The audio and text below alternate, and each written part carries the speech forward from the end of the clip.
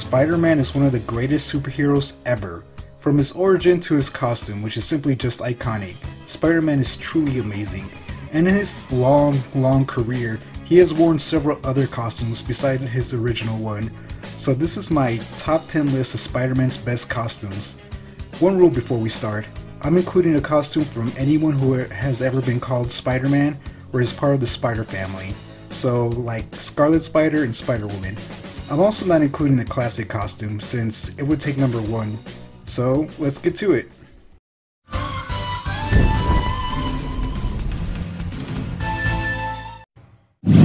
Ten. The Scarlet Spider suit, Ben Reilly version. Ben Reilly might be one of the many clones of Peter Parker, but he is the greatest one. After his first appearance, everyone thought he died, but he lived and eventually returned during the Clone Saga. At first, he tried to distance himself from the superhero life, but eventually he took the name Scarlet Spider and made his own costume. I have to admit, his costume isn't very good. It's just a plain red bodysuit and a sleeveless blue hoodie with a utility belt and some random pouches. Yeah, it's straight out of the 90s. Still, I really like this costume. I grew up with it, and to me it's just as iconic as Spider-Man's original costume to me. The Spider-Man Noir costume. This costume is worn by an alternate version of Peter Parker. This version of Peter lives in the 1930s and got his powers after a spider statue broke, releasing a bunch of spiders and being bit by one, granting him his powers. He then uses his powers to fight organized crime.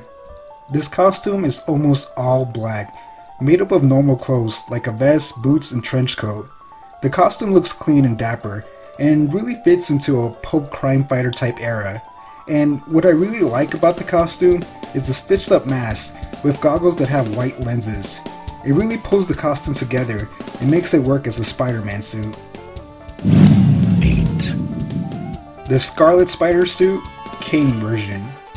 Kaine was the first Spider-Man clone created, but he was a failure as he became mentally unstable and deformed. His creator, the Jackal, got rid of him and fixed the cloning process and created Ben Reilly. He would go on to become an antagonist, but eventually he took on the mantle of the Scarlet Spider after Ben died. Kaine's Scarlet Spider suit is also a red body suit, but unlike Ben's, it has designs such as a black spider on the chest, and he also wears a black mask with red eyes.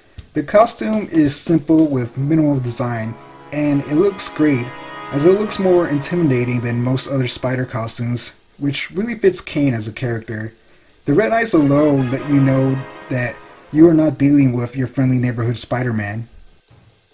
7. The Future Foundation suit. This suit was worn by the original Peter Parker.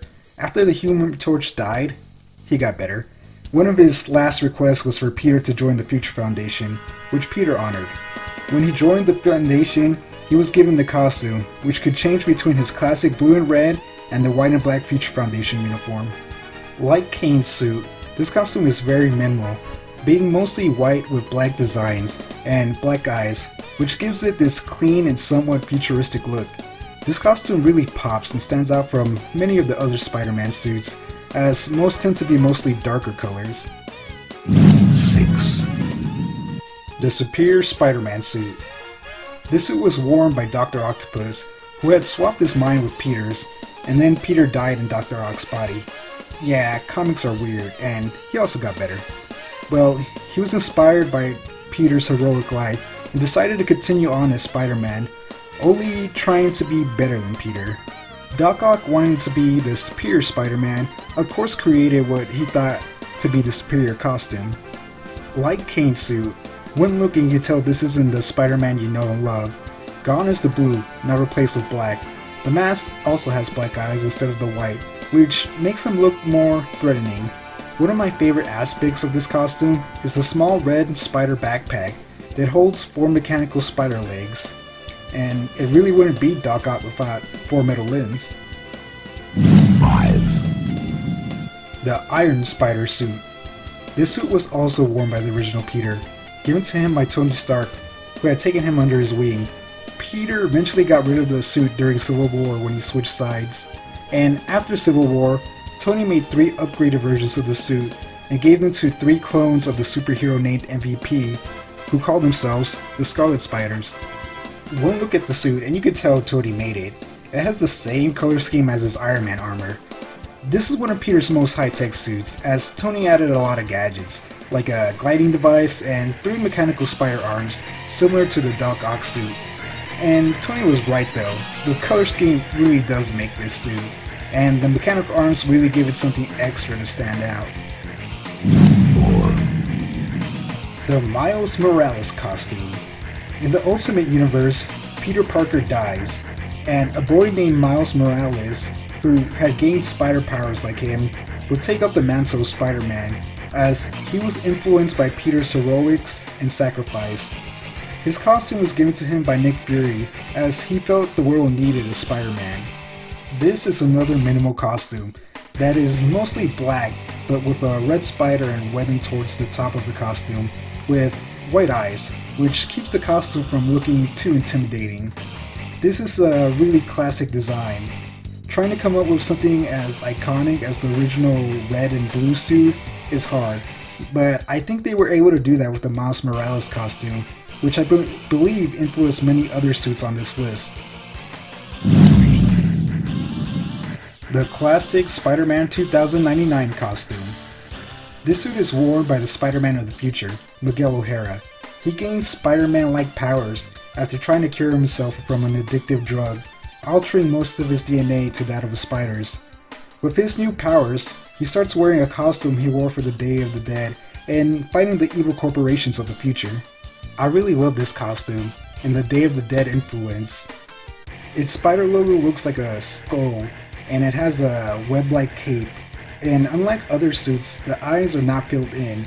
Instead, the mask has a red design outlining where the eyes should be. Really, this is just an awesome design, and does scream Spider-Man of the future to me. The Spider-Gwen costume. The suit is worn by an alternate reality version of Gwen Stacy, who was bitten by the radioactive spider instead of Peter Parker, who in this reality became the lizard. In her world, she is known as Spider Woman, and she tries to do good, even though she is hunted down by the police, including her dad, for the death of Peter Parker. Her costume is mostly black and white, with pink webbing highlights on her arms and hood. Her mask is pure white, with pink outlined eyes. I love this costume. It's just visually satisfying to look at. She doesn't have a spider symbol, but when you see the outfit, you can tell it's for a Spider-Man like hero. This balanced look really fits the character, and in my eyes, will be another iconic suit that will influence designers in the future. The Black Suit, aka the Symbiote. I've used the word iconic several times in this video, but if it holds true for any suit on this list, it would have to be this one. Spider-Man got the suit during the events of the original Secret Wars. We thought it was an advanced suit created by alien technology that amplified his abilities, but it turned out it was an alien symbiote that he had bonded with. The suit did make him stronger, but it also started corrupting him, so he eventually got rid of it, and it went to bond with Eddie Brock, who became Venom. Spider-Man would later wear a fabric version of the suit on a few occasions. This suit is pretty much pure black, with a big white tarantula looking symbol on the chest and white eyes. When it comes to minimal, this takes the cake. It's so simple, yet it looks so cool. Really, take a moment to appreciate it. It's simply such an awesome looking costume. And to think, Marvel bought this idea off a fan for $220. He really lost out. control. I gotta get it off. Oh, it's too late. It won't let me. Ah! Well, that's it, my top 10 favorite Spider-Man costumes. There are plenty of other great ones out there, so if you think a different one deserves to be on the list, let me know in the comments below. Alright, please like, subscribe, and thank you for watching, and I'll catch you on the next one.